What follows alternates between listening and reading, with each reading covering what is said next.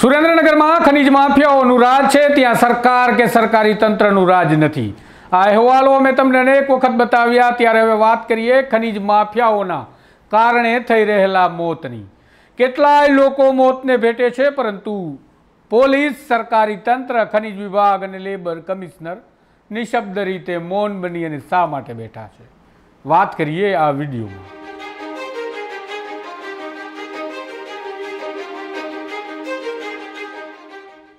નમસ્કાર. હું છું આપની સાથે તુષાર બસિયા, નવજીવન ન્યૂઝમાં આપનું સ્વાગત છે.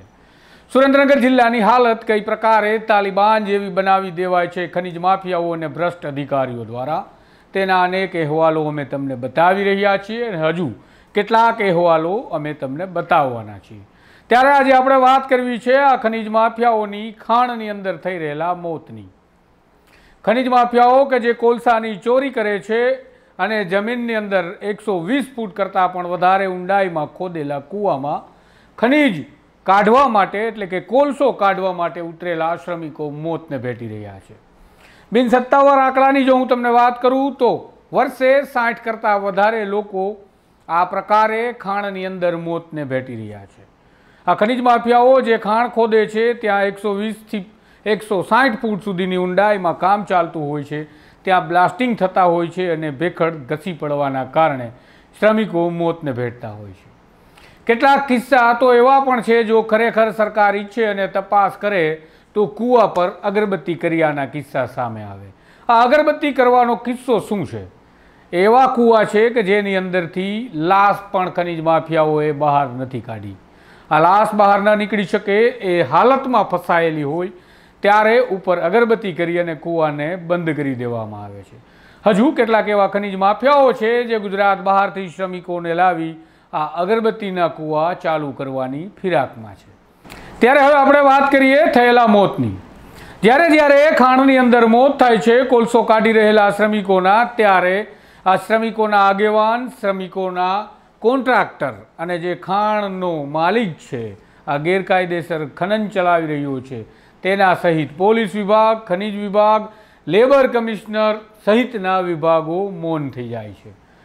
શ્રમિકને જરૂર પડીએ હોસ્પિટલમાં તો લઈ જવામાં આવે છે, પરંતુ જો મોત થાય તો આ મોત ખાણમાં થયેલું મોત નથી ગણવામાં આવતું.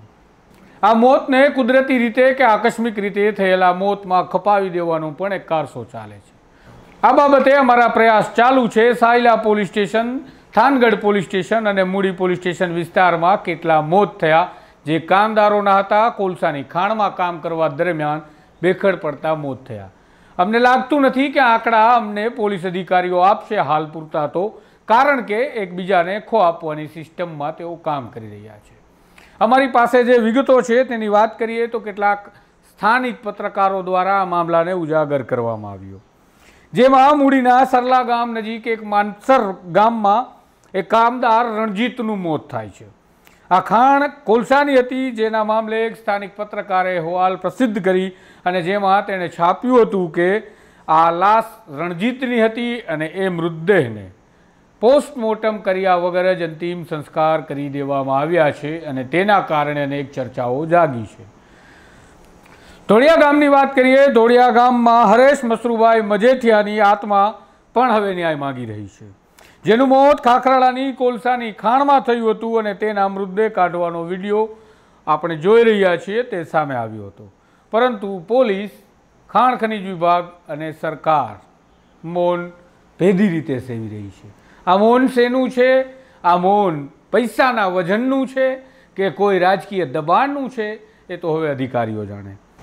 ગેરકાયદેસર ખાણમાં કામદારોના મોતની વાત કરીએ તો વર્ષ બે હજાર બાવીસમાં મૂડીના દેવપરા ગામે ગેરકાયદેસર ખાણમાં ટ્રેક્ટર ખાબકતા રાજસ્થાન મૂળના બે શ્રમિકોના મોત નીપજ્યા હતા અને આ મોત પણ સામાન્ય અકસ્માત બની ગયાના સૂત્રો પાસેથી અહેવાલ મળી રહ્યા છે એટલે કે આ મોતના મામલે પણ તંત્ર, સરકાર, પોલીસ વિભાગ ભેદી મૌન સેવી રહ્યું છે.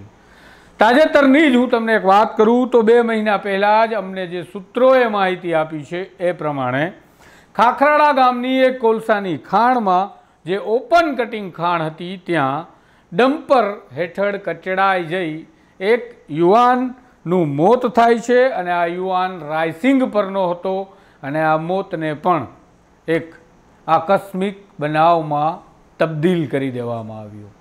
વાત ટૂંકી છે, મોત થઈ રહ્યા છે, ગરીબો મરી રહ્યા છે, જેના જીવની કિંમત આ ખનીજ માફિયાઓ રૂપિયા ત્રણ લાખ આંકે છે. વાત કરીએ પશુઓની, તો પશુ કે જે ગીરની ગાયો છે અને જાફરાબાદની ભેંસો છે, આ પ્રકારની નસલની ગાય અને ભેંસ ખરીદવા જાઓ તો પણ રૂપિયા ત્રણ લાખમાં નથી મળતી. પરંતુ સુરેન્દ્રનગરમાં સરકાર મૌન છે, પોલીસ વિભાગ તો જાણે છે જ નહીં અને સમગ્ર કારસ્તાન પર પડદો પાડવા માટે ખનિજ વિભાગ કૂવાનું બુરાણ કામ કરે છે. ત્યારે તમામ વિભાગો તંત્ર ભેદી મૌન સેવી રહ્યા છે અને સવાલ થાય છે કે આ રાજ્યમાં તમે ગરીબ છો તો તમારા જીવની કોઈ કિંમત નથી.